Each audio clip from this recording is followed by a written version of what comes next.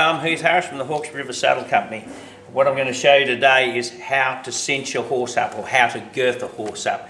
Because people are now moving into fender saddles as a crossover from traditional English colonial style girthing, this is a Western style system which is far superior, far better, far stronger, far safer than any English girthing system.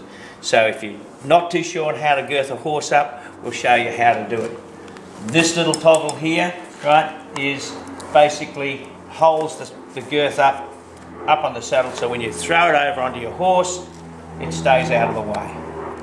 So we undo that, we come down here and we make sure that the adjustment on this side of the saddle is correct. We need to have this D just this side of the centre between the horse's legs because when you do it up you want that D to be make sure it is right in the middle it, of the of the horse's legs. Because if you're not sometimes it's uneven well you can gall your horse if you're not careful. Okay we'll go around here.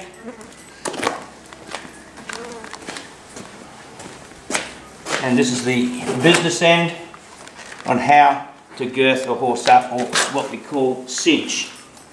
Okay? You get your latigo or your girth strap, put it through the D on the buckle. The girth has a pin as well in it. We go again on this adjustment, we only go twice around.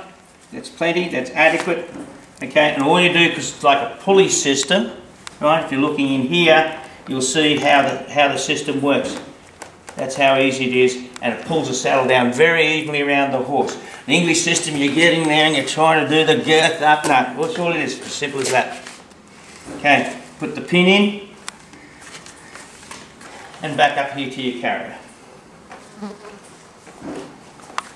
Making sure that that D is in the centre between the front legs. That's very important.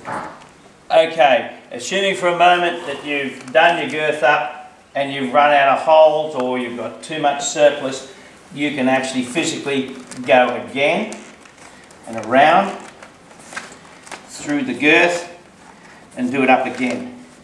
If you find that you've got a great big lump here, right, your girth is too long on the other side. Adjust it up so it's centre.